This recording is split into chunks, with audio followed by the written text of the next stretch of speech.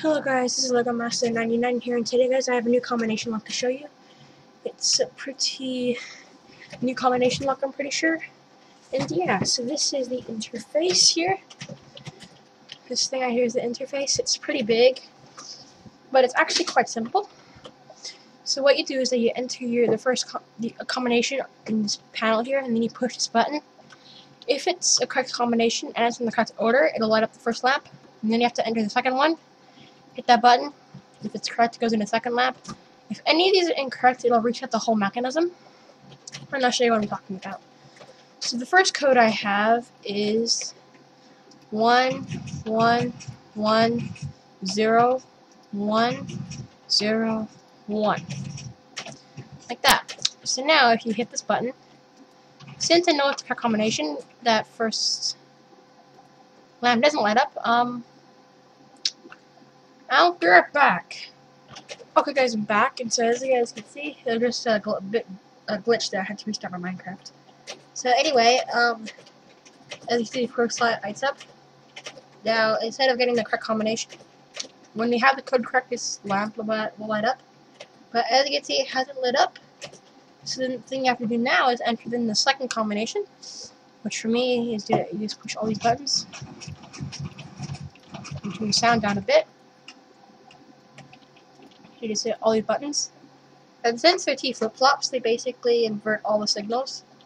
Now, now if we hit this button, as you see the second lamp should light up, which it does, perfect. Now the third combination, um, I forgot it, I actually wrote them down on signs here. Okay. So, basically the third combination, I, you can change this to whatever you want. Um, like that. That's the third combination, I'm pretty sure. Now if we hit this button, as you see, lights up. Now let's say we enter in an incorrect fourth combination. As you guys can see, if we hit this button, instead of the fourth lamp lighting up, all of them turn off, which they are not doing. It's just a, um, yeah, there we go, it's just a glitch. There's lots of glitches in 1.4.2. I heard they're fixing some on Wednesday. But anyway, they all reset. And yeah, so you have to enter each code correctly. So now, if we actually enter in the correct code, and if we enter in all, all four codes correct, what will happen is that, um, is that this lamp will light up, and then you can have that attached to whatever you want.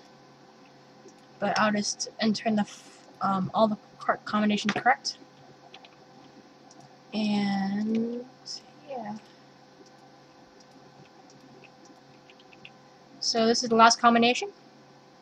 That lamp went up. Now this lamp went up. Now you can hook this up to anything because its output is a redstone signal. And yeah, so it's this time in the video. I'm going to show you the redstone. But first, this is the reset button. So if you got a code incorrect, you can reset it. It resets everything. So yeah, now I'll show you the redstone. Okay guys, so this is all the redstone in the build. It is pretty big. And I'll, and I'll just, since it's all color coded. And yeah, so this white segment here is the one white T flip flop array. So basically what that does is that one it's a makes a button press into like an output. And yeah, so it's just the one white T flip flop for all the buttons. Now the orange circuit is the input circuit. So this for the combination system. That's the input circuit, and then this is the input reset here. The red circuit is the output, so this wire here. The green circuit are the buffers from the array to the lamps. This yellow circuit is the is the um, passcode. It's completely hard coded. You can completely change it to whatever you want. It's hard coded into the mechanism. This blue circuit here is probably the most important. This is the array. It calculates um, all the codes in order and stuff like that. And then the last circuit, this purple circuit here is the reset. So if you get a code incorrect, it'll detect it and then send and then reset it. And yeah, so I will do a tutorial soon. Um, please like this video. Helps me a lot. Since I'm not that big of a YouTube channel.